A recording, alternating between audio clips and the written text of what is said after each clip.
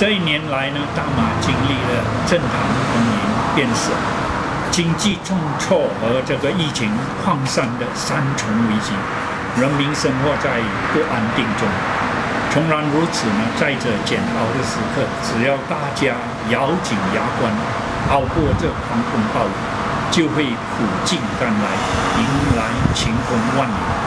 盼望新的一年里呢，各族能携手合作，共同建立新的民主机制，改善国家经济结构。